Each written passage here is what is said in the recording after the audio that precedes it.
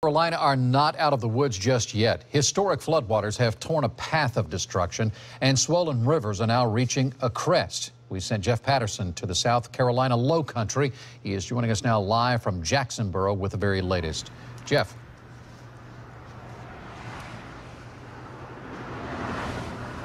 Kind of the same story. People up here now, though, experiencing historic levels of water in this area. We're standing in the Edisto River, but here's the problem.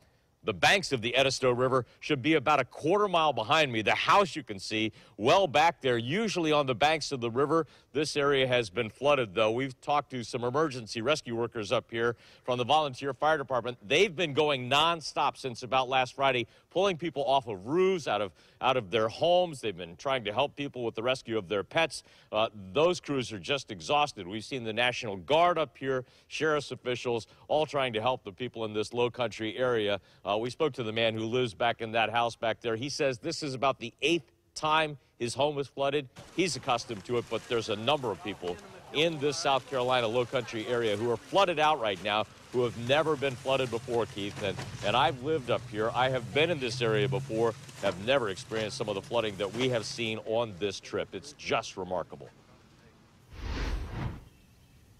Just, uh, we kind of missed what you said at the very beginning. Uh, you, you, want to point out you're standing on what should be a road, but it's now covered in water. And these are problems that are going to continue because, as we point out, uh, the crest has not happened yet.